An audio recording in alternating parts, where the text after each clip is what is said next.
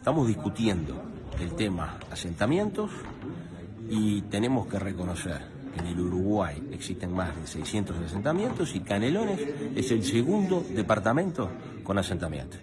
Y uno de los grandes responsables, por no decir el de mayor gravitación, es el intendente de Canelones, el que va a asumir dentro de muy pocos días su segundo mandato. ¿Por qué? Y ahí viene el tema.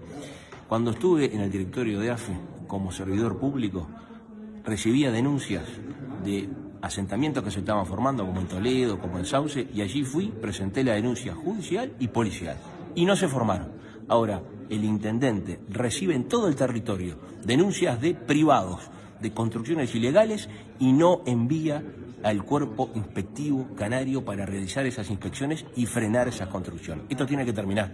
Por eso ahora le estamos pidiendo que se sume a esta campaña nacional para no solamente intentar, tenemos que lograr que no se formen nuevos asentamientos. Es más, le digo, en, en la Costa de Oro, hoy estamos hablando que es Costa de Lata, porque tenemos asentamientos por toda la faja costera, como usted bien lo decía, eh, Neptunia, Pinamar, Salinas, Santana, Biarritz, San Luis Norte, del lado de San Luis Sur, donde el expresidente de la República tiene su casa de veraneo, cruza la ruta interbalnearia y allí hay un nuevo asentamiento. Orsi hace la vista gorda. En este tema sí, y lamentablemente le estamos pidiendo, exigiendo que se ponga los pantalones y que realmente colabore para frenar este flagelo. ¿Qué se puede hacer? Bueno, en este tema es muy central, como bien le decía, en coordinación con alcaldes, con los concejales, todos los directores de la Intendencia y obviamente el propio Intendente, corroborar que en su territorio no se comience a construir, no se comiencen a instalar asentamientos. Para esto es la denuncia policial y la denuncia judicial inmediata.